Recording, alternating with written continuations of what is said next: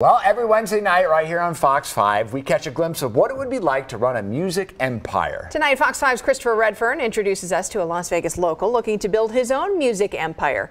Meet Randy Black. There's Rand Black, he's the rapper. And in Rand Black, there's two other, three other alter egos there. There's Black and Mild, he's the singer. I got all my decisions made. Um, and then there's Coach Black. You gotta see him when he comes out who is the guy that went through football and made the mistakes and are trying to teach kids now not to make those same mistakes and how to study the games that he's coaching.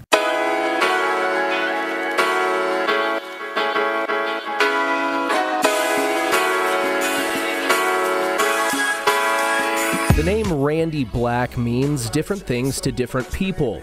UNLV diehards know him as one of the greatest defensive players in school history. At 21, I was supposed to get drafted into the NFL. My name was on the board. For others, he's Mr. Black, the teacher. Who is trying to make kids understand how important education is because it wasn't that important to him because sports was his way out. Randy's days start early and finish late. Five days a week he's a teacher, four days a week he's a coach, but music. I'm work on a new single that I got coming out. We're building this hip hop and B genre of music. That's been on his mind seven days a week since he was a teenager. Yeah, I'm just as passionate about music as I am football, as, as I was when I was 13 playing football.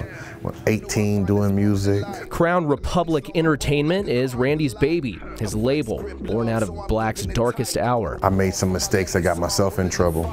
So instead of getting drafted, I ended up being a free agent and have to be a practice squad player and fighting to get on a practice squad somewhere.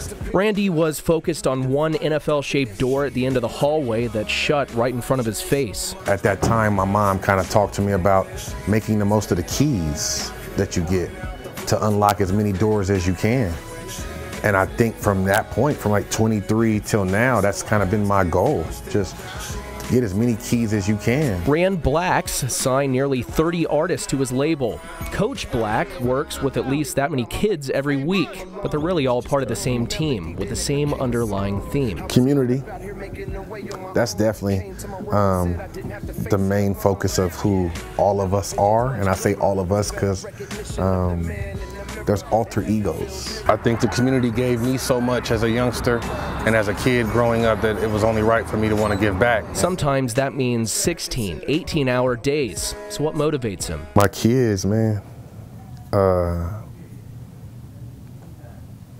yeah, my kids, man. I wake up every day and think about them, man. How can you talk about hard work and being determined if you're not? How, how, can I tell my daughter, who is now 25 with two kids, about the bounce back of being a single mother? Like, it's okay to fall and get back up. How can you teach that if you're not doing it yourself? Christopher Redfearn, Fox 5 News,